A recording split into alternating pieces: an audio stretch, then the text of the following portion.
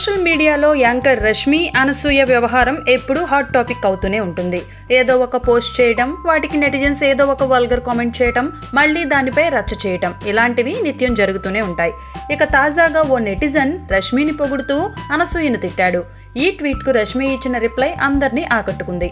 ఇంతకీ ఏం జరిగిందంటే సోషల్ మీడియాలో ఫుల్ యాక్టివ్గా ఉండే రష్మి ప్రతి విషయంపై స్పందిస్తూ ఉంటుంది. సామాజిక సమస్యలపైన రియాక్ట్ అవుతూ పెట్స్ గురించి అందరికీ అవగాహన కలిగిస్తూ ఉంటుంది. నెటిజన్స్ వేసే ప్రశ్నలకు సమాధానాలు చెబుతూ ఎవరైనా ఘాటుగా స్పందిస్తే అదే రీతిలో కౌంటర్ కూడా వేస్తుంది. ఇక అనసూయ సైతం సోషల్ మీడియాలో యాక్టివ్గా ఉంటుంది. హాట్ హాట్ ఫోటో షూట్లతో తెగ హల్చల్ చేస్తూ ఉంటుంది. అయితే రష్మి అనసూయకు ఒకటే తేడా. నెటిజన్స్ కౌంటర్స్ కామెంట్స్కు రిప్లై ఇవ్వకుండా బ్లాక్ చేసేస్తుంది అనసూయ.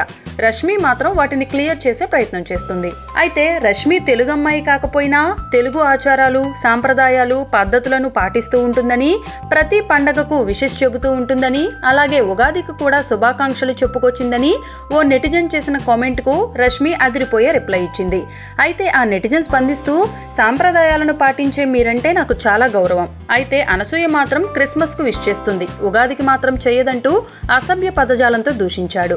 ఇక ఆ కామెంట్కు రష్మి రిప్లై ఇస్తూ సార్ మీ భాష మీ అభిప్రాయాన్ని చెప్పే హక్కు మీకుంది. కానీ ఇలాంటి భాషను వాడకూడదంటూ సున్నితంగా హెచ్చరించింది.